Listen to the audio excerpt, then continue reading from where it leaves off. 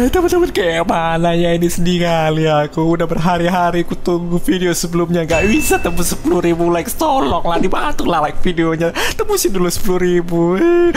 Apaan sih? Alay banget baru mulai aja udah nangis-nangis ngemis-ngemis. Jijik kali lah aku liatnya. Janganlah kayak gitu teman-teman. Tolonglah dibantu Karena di video kali ini Gua bakal ngasih tips dan trik Supaya kalian semua bisa bermain layaknya seorang pro player. Jauh lebih kompetitif Karena gue bakal jauh lebih detail membahas soal mikro dan makro apa itu? Nah, nanti kita bakal lihat in game ya.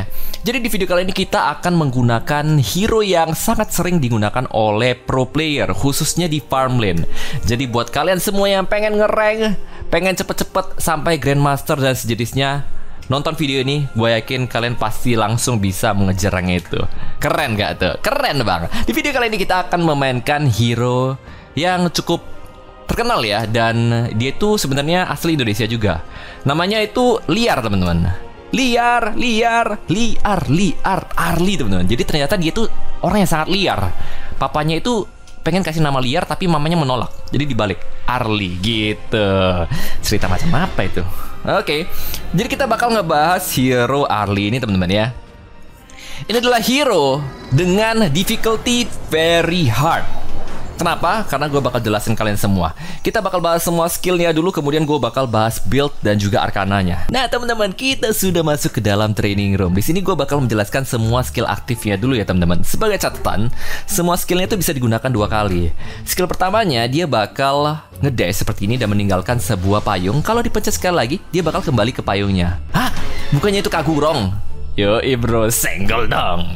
Jadi, Itulah untuk skill pertamanya. Berguna banget buat kabur, ngejar musuh, ngegocek musuh, untuk rotasi dan segala macam lah ya.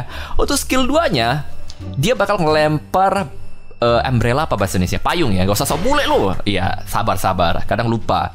Dia ngelempar payungnya random teman-teman ya. Posisinya gue udah coba cari tahu, ternyata memang random banget ya. Ketika kita pencet dia bakal ngelempar payung random, damage musuh dua kali, dia bisa teleport ke payungnya juga seperti ini. Tapi ada satu hal yang mungkin gak banyak yang tahu.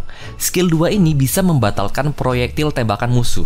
Artinya kalau kita bertemu dengan musuh range, misalnya di sini ada Alessio dia nembak kita, gue bisa batalkan. Kalian bisa lihat ya, damage-nya yang pertama tadi gak masuk. Contohnya dia nembak kita seperti ini masuk ya. Lihat ya, gue batalin ya, bentar lagi temen ya. Nah misalnya gini, jangan deket-deket dong, jauh-jauh dulu Garut. Nah oke okay, oke. Okay. Nah lihat guys, gak masuk kan damage-nya? Ya gak masuk ya, kalau lihat tuh. Nah gak masuk damage-nya. Ngeliat ya, jadi skill 2-nya ini sangat bagus untuk mengcounter musuh yang ngajak battle di early game, di late game bahkan ya. Itu alasannya kenapa dia kuat banget untuk melawan uh, hero-hero farmland lain. Nah, untuk skill 3-nya sederhana banget, dia bakal ngeluarin payung dan mendorong musuhnya. Seperti ini. Ini bisa digunakan untuk kabur juga guys ya. Misalnya kita dikejar musuh, kita kayak gini, terus gini. Yang menjadi masalah adalah skillnya itu nggak bisa overlap.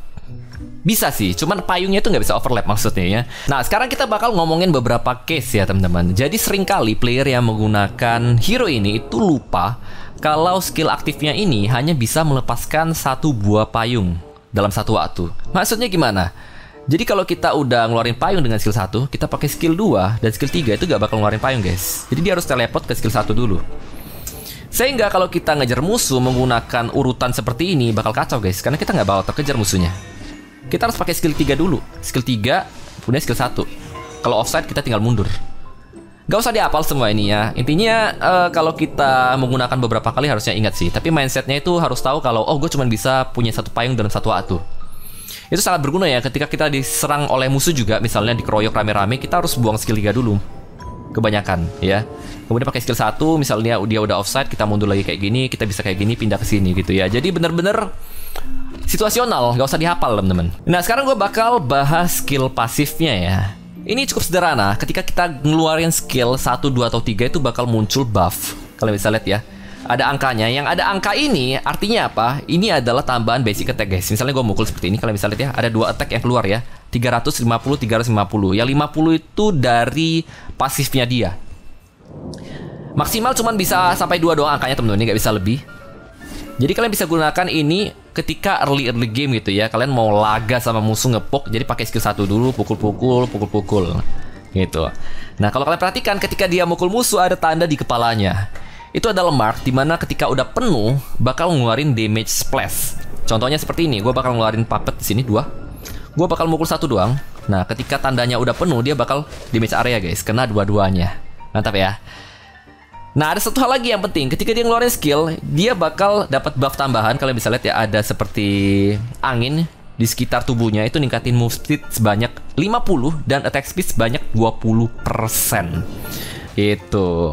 Udah paham ya? Semua sama skill aktif dan pasifnya. Jadi ketika kalian nemu Arli pun kalian bisa menghadapi dia. Udah tahu ya mindset player Arli itu seperti apa.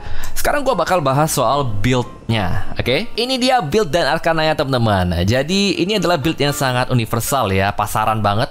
Semua player menggunakan build ini. Tapi yang menjadi hal penting adalah tiga item pertamanya yaitu bootsnya harus boots of dexterity dulu supaya nggak usah bolak-balik bolak-balik yang kedua Doomsday, yang ketiga adalah Shadow Reaper. Nah, item keempat itu situasional banget guys. Tergantung musuh kalian kalau ada Dun, kemudian Cyan, terus ada Dokter Bian lagi. Gua saranin sih bikin yang namanya ini teman-teman Mortal Punisher. Jadi benar-benar situasional banget. Jangan terlalu terpaku dengan build yang sudah ada. Gitu ya. Kemudian berikutnya untuk Arcana ini sangat penting. Kita menggunakan 5 River Gua lebih suka physical lifestyle-nya itu di awal 8% ya dibanding 5% karena itu terasa banget ketika di early menuju mid game bagi gua. Limanya lagi tuh Han. Kenapa cuma 5? Karena pasifnya Ali sendiri udah ningkatin move speed dan attack speed teman-teman. Jadi Han-nya nggak perlu 10 biji gitu. Kemudian ada Eagle Eye, ini wajib ya 10 unit. Kemudian terakhir gue gunakan Calamity. Semua rata-rata hero archer ataupun farm lane itu biasa menggunakan Calamity, kecuali dua hero doang. Yaitu Marco Polo, dia itu butuh attack speed untuk skill pertamanya dan juga Renji. Renji itu butuh untuk stackannya dia ya, dia, jadi dia butuh sering mukul gitu. Kenapa? Karena critical rate itu lebih valuable dibandingkan attack speed dan dengan 16% critical rate setiap kali 6, 6 kali mukul ya lebih kurang satu kali critical itu sangat-sangat apa ya? menguntungkan untuk ngepok musuh di awal. Jadi kalau kita beruntung bisa dapat first blood dengan mudah gitu. Cukup paham ya dengan apa yang gue katakan. Kalau nggak paham silahkan diulangin. Nanti bakal gue jelasin lagi ya. Kalau ada waktu. Kemudian terakhir adalah yang membedakan farm lane ini dengan yang lain. Hero ini adalah talent yang digunakan. Untuk hero lain biasanya pakai flash ya karena mereka gak punya skill dengan mobilitas tinggi. Sedangkan si Arli ini semua skillnya itu mobilitas tinggi, sehingga dia bisa menggunakan frenzy. Ini yang membuat dia sangat kuat di fase-fase laning ya teman-teman. Karena frenzy di cooldownnya sangat cepat, cuma 60 detik dia bisa ningkatin damage sebanyak 10%, resistance 15% dan physical lifesteal 20%. Sangat-sangat bagus untuk apa ya sustainability dia ketika laning phase. Jadi nggak usah balik. Darah kalian habis ya nggak harus disimpan-simpan frenzy-nya, pakai aja buat ngeheal. Itu karena life steal nambah 20%.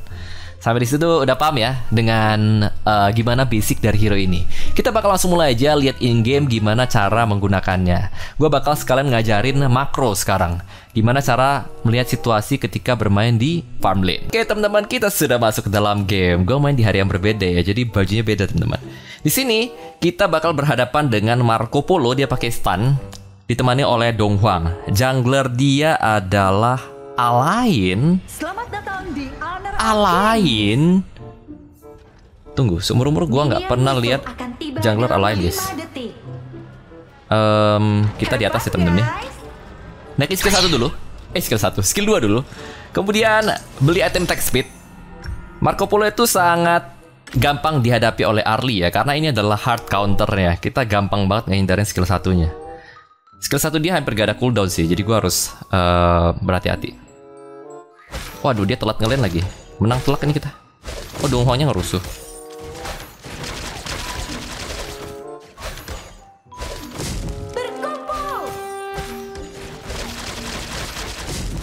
Waduh, hari mati. Kita ada skill satu ya, kita bisa menghindari skillnya. Nice, dia pakai stun, jadi dia nggak bisa menghindar. Kita menang jauh nih guys. Dia nggak dapat uh, lane. Teman kita juga ngekill musuhnya. Ini musuhnya konyol banget nih guys ya.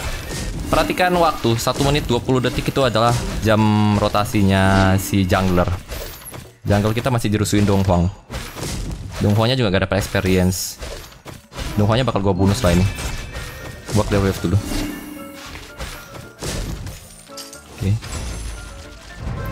Gun Enmo-nya kita bunuh, Gun Enmo-nya.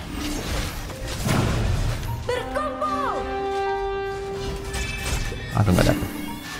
Malah alainya di situ. Nice, thank you, thank you, Brad. Eh, dia merelakan diri nggak apa lah ya. Eh, dia nge-help gue tuh. Maaf temen-temen ya, gue melakukan kesalahan tadi. Gue kira bisa dapat garanmunya, ternyata junglernya ngambil bawah dulu jadi dia ke atas. Hansin kita telat banget tuh jungle-nya. Mati nih kalau yang lama maju-maju ke gua. Oke, Hansin kita gembel banget. Kalah sama lainnya, tapi lainnya rotasi ke atas guys ya. Kita bunuh ini. Eh tunggu. Kita ambil eh, kita harus kontes burung ya temen-temen. Aduh telat deh. Gak ke kontes. Gak apa-apa, kita menang tetap. Dia udah kehilangan satu lane tadi. Eh, ngapain ini? Lainnya. Dia bakal pakai ulti nih. Harusnya. ya. Gua gua mancing ulti dia, guys. Oke. Gua mancing ulti dia. Kok Alien nggak ulti? Ulti Alien lama ya temen ya. Kita harus perhatikan pergerakan dari jungler. Ini gue mainnya agak serius temen ya. Gue bakal bikin eh Oke, mati nih harusnya. Oh, musuhnya di situ banyak. Level 4 ya. Level 3, nggak bisa ngikat sih. Wah, maju. Kita poke ya. Itu arum temen-temen ya. Kita bisa nyuri ininya sih. Ada Ganonmu? Ganonmu itu kayak ini ya, kalau di Dota kayak Shadowfin atau Nevermore. Menit 3, menit 4 kita harus ngambil eh naganya ya. What the hell? Kita itu kantornya Marco Polo guys. Dia pasti menderita banget ketemu gua. Musuhnya tereliminasi lagi, nice. 30 Mundur dulu. Dia mau ngikat itu. Jangan sampai gue yang terikat. Kalau yang terikat temen gue nggak apa-apa guys. 20 Kita harus ngerti skill musuh guys ya. Oke, Ganenmo-nya rotasinya ke sini. 15 detik. Hasil kita ngapain sih? Ntar ya, junglernya belum kelihatan nih musuhnya. Nice, good job. Ganenmo-nya ke atas lagi. Oke, Tyrant-nya udah muncul. Baiknya saya mati. Oke. Kita harus rotasi guys, nggak bisa ini. Kita harus rotasi. Kita butuh. Rekanmu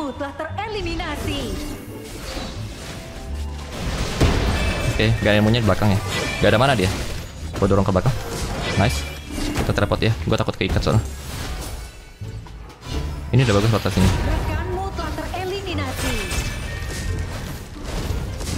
Gua harus segera ke atas guys. Colongan satu wave, gak apa-apa. Satu hit, eh satu. Eh, what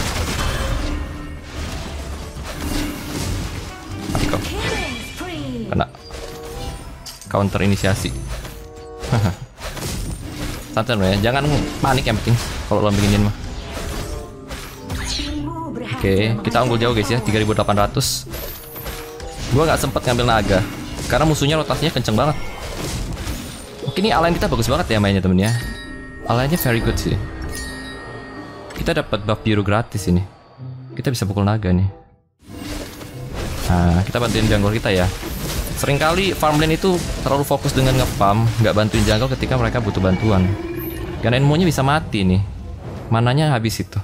Ini kalau Marco Polo-nya nongol, oke, baru gue bilang. Apa-apa. Kita bisa live kenceng guys ya, itu gunanya Arkana kita. Oke. Ingat dong, bisa ngikat, jadi gue nggak boleh terlalu agresif. Dia mau ngikat gue. Wah, ada killing streak. Ganenmo-nya, Ganenmo bahaya nih.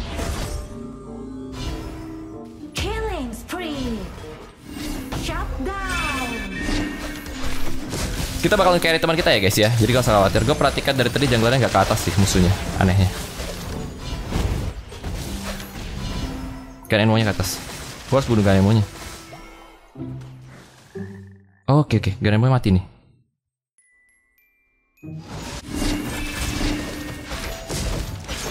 Nice, teman gue di situ kan? Loh, what the freak? Nice. Nice. Udah, cuekin aja dulu.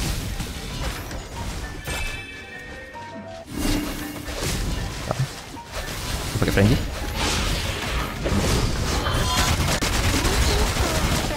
Gua salah tuh. Gua salah, harusnya gua gak mukul musuhnya.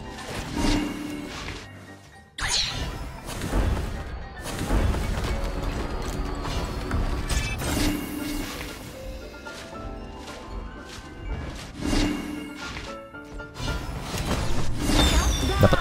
Nice, dapat. Oke, kita outplay alien ya teman-teman ya. Walaupun kita eh, mati, kita dapat satu sih. Marco Polo-nya ntar kita bakal hadapi lagi ya. Nggak usah khawatir. Sekarang masalahnya cuma di Ganon umumnya doang yang jago teman-teman. Kita menang gold ticket doang. Kita kalah di jungler sih. Oke, mati kah itu? Gak mati. Skill belum siap. 5500 4400 Ntar kita babat lagi Marco Polo ya guys Gampang itu Marco Polo Gue takut di instant kill si Garenmo doang Sabar ya.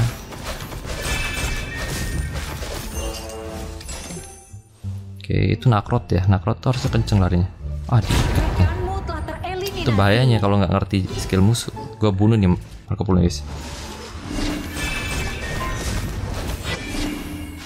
Mati ya. Em, jungle musuh nggak ada nih. Jungle musuh alain ya? Gue lupa. Alain tuh jungle loh dari tadi. Dia nggak ada ulti guys. Ulti dia sisa 15 cooldown gitu Sekitar 15 detik kan Musuh hilang. Awas kena geng. Iya musuhnya hilang semua nih Ngeri banget. Nggak ada objektif sama sekali soalnya. Kita bunuh Garenmu sekali lagi guys ya Biar kena mental ya. Ini bisa gue bunuh nih. Oh kita jebolin itu orangnya Bisa nih. Alanya sekarat itu berani maju. Kalem, kalem. Ma- Ah Dunghua-nya kita bunuh guys, Dunghua. Terlalu off. Aduh. Oh, Oke, dia bawa temen. Eh jangan kiket Oh my god, jangan kiket Sebentar ya. Gua kasih lihat nih Cara lawan orang yang ngepres Perhatikan teman kita udah dari kanan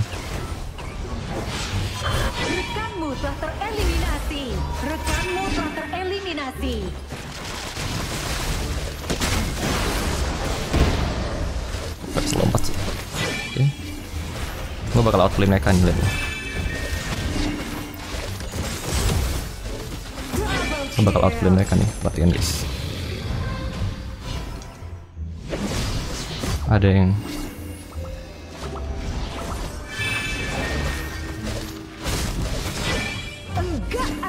Gue bakal outplay mereka guys Oke Garenmo-nya ya Dari tadi free terus Gue harus perhatikan Garenmo-nya sih Sabar ya guys ya kita juga nge-push kanan Ini yang tor tornya harus dapat nih Biar gue bisa Acak-acak jungle Tyrant Oke. sudah diperkuat. Eh, Kita ambil tower terus kita ambil Tyrant guys Habis ngambil Tyrant kita Habisi musuhnya Sini sini ambil Tyrant ambil Tyrant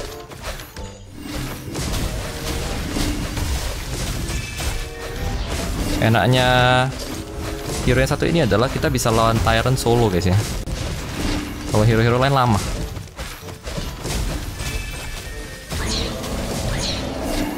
Oke, kita langsung bersamaan ya. Temen kita dapetin bisa teman kita mati dua lagi. Kita mati dua. Kita butuh merah sih. Bawah kan apres.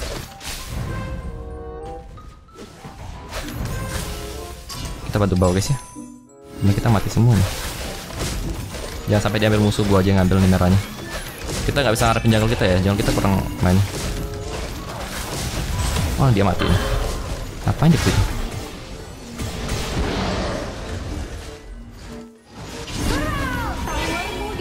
Sabar, kita outlane deh.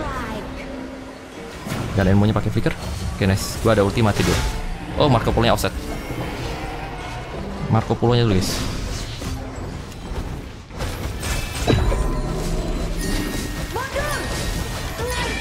Itu dong, Hong. Nah, temen gue yang ngurus triple kill, nice. Gun Enmo nanti ya. Atas tower maju. Kita harus cepat scaling, guys. Gun Enmo kita matiin nih, lihat nih ya. Kita pakai skill 3 ke belakang, kita pakai skill 1 ke depan mati deh. Kalau dia berani maju. Oh, aduh salah tuh. Paketnya. Gua left dulu.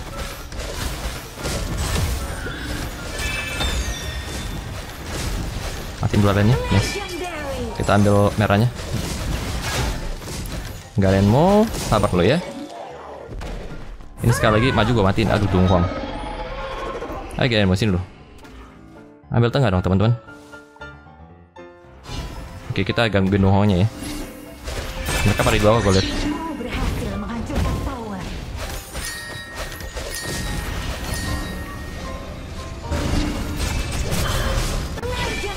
Outplay mereka. Nice. Dunghongnya dapat. Kita bisa ke tengah nih. Tengah towernya. Kok mukul gua sih? Nah, kita harus mati untuk musuhnya sabun. Sabar guys. Gua live steal bentar. Musuhnya cuma alain ya. Alain sama Marco.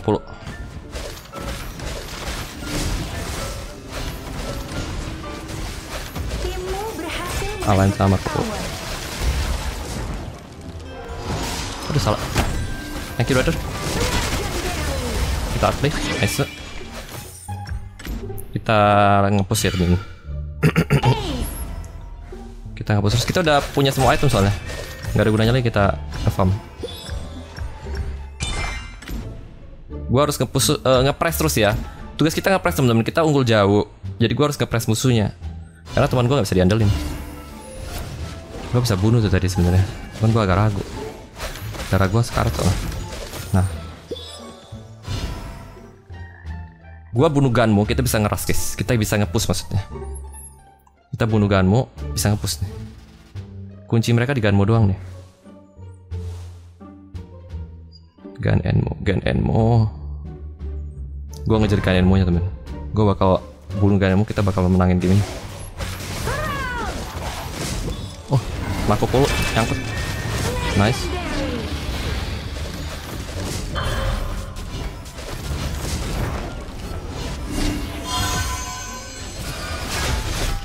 Legendary.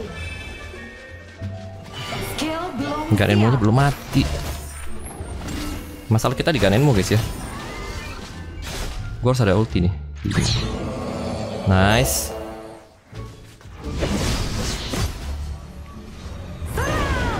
Dapat nih Ganenmo nya. Aduh salah. Please don't kill me. Thank you brother. Aduh, gua terlalu nafsu bunuh Ganenmo. Gua lupa di sana ada si Dong Huang teman-teman. Salah gue nih, gue terlalu nafsu bunuh Ganenmo ya. Tapi memang harus bunuh Ganenmo sih, kita nggak ada cara temen-temen. Yang kuat cuma Ganenmo nya doang. Gue harus takut sama Donghong sih. Ini penyakit kalau udah mati sekali biasa mati terus nih. Primal bone-nya agak cukup. Oh dia life steal-nya kenceng ya. Oke sekarang kalau mati lama banget ya.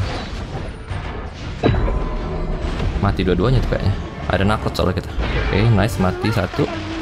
Wah, bisa menang nih. Hati-hati Ganenmo. Oke, gua ganti aja item kita satu lagi kali ya. Kita ganti dengan ini.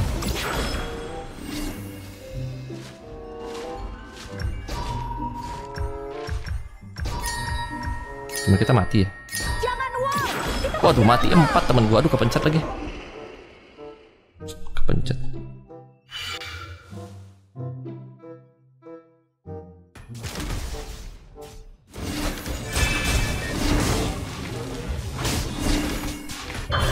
Untung dia bisa ngarahin, kocak. Musuh. Untung dia bisa ngarahin. Ayo aja boostnya guys.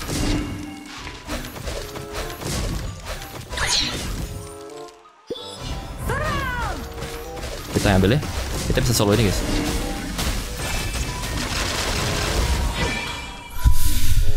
Aduh. Mati juga dia tapi. Gua salah teman-teman. Ini gua carry bisa-bisa teman-teman ya. Luar biasa sih ini.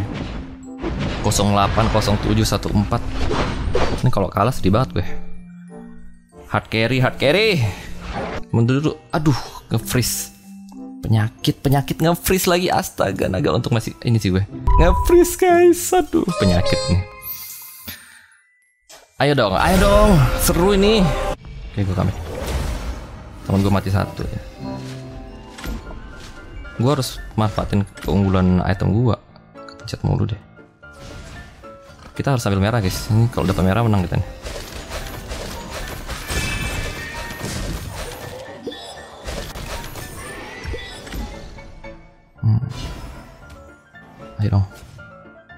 Matiin dulu nih. Nih, matiin satu nih. Oke, oke, kita unggul satu. Gak ada gak ada. Kita zoning gak ada guys. Dia tahu gua ngezoning dia kan?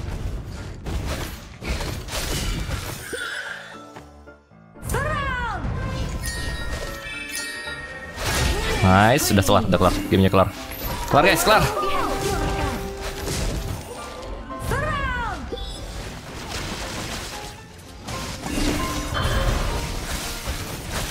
Eh, ngapain maju dia?